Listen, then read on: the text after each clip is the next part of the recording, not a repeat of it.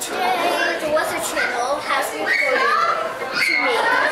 I mean, today, some people reported something that they're going to have a tornado in their backyard on Tuesday night,